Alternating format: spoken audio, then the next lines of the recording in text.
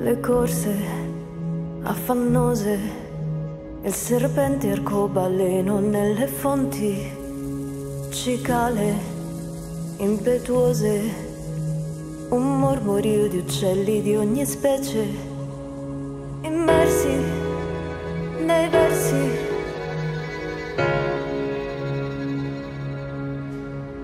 Immersi nei versi.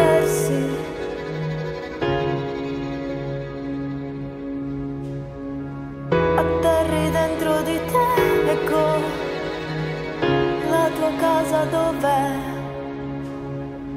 Atterri dentro di te, ecco la tua casa dov'è?